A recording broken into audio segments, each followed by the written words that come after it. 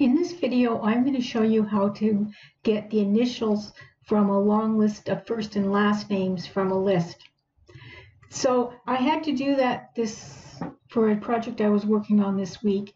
And obviously getting the first initial is very easy. It's just a matter of going um, equals and left. And then you um, select the cell and you go um, you'd like to go one one letter obviously and easy.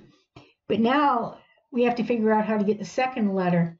Now the thing that we need to look for is we need to look for the space.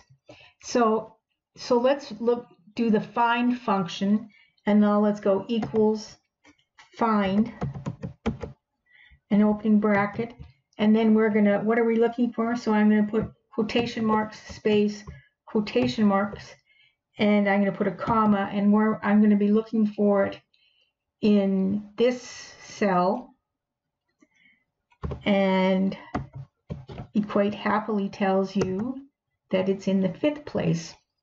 And so you think, oh, that's pretty good.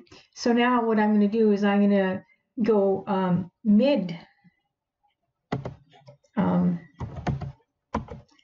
and then um, you go uh, select the cell that you want. And then you tell it now you don't want the fifth um, character you want the sixth character. So I'm going to put in a sixth there.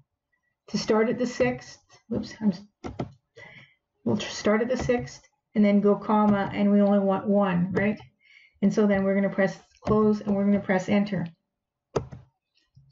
Now the problem with that is that the fifth works out really well for, for this name here, but it's the last letter in the first name for this one. So now let's, why don't we combine the two formulas? So let's go equals mid. And then what we're going to do is we are going to select the cell and then we're going to put a comma in here and then we're going to put the find function in the middle of it. And so then what, once once more we're going to be finding um, quotation marks space quotation marks and we're going to be finding it in and we're going to select the cell again. Now um, I'm going to put a closing bracket on this but we don't want to find the actual space. We want to find one, uh, the letter next to the space, right? So we're going to go plus one, and then we go comma, because you only want one character, right? So we go one, and then we go enter.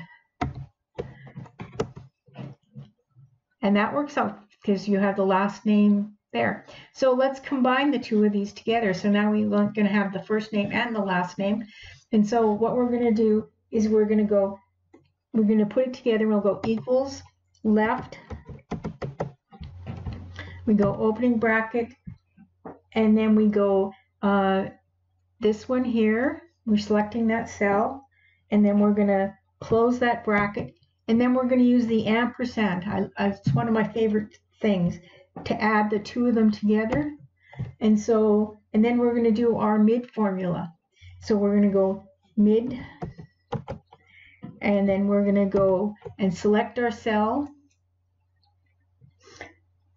And then we're going to go find. And then we're going to go, we're going to look for our blank again, space, quotation marks, and then we're going to select the cell where we're looking for the blank in, which is right there and then we're going to close that bracket. And then we want don't want that blank we want the one after that blank right? So then we go plus one and then we're going to go and we only want one character out of all this. So there you go. There's our uh, there's our first initial and our last initial.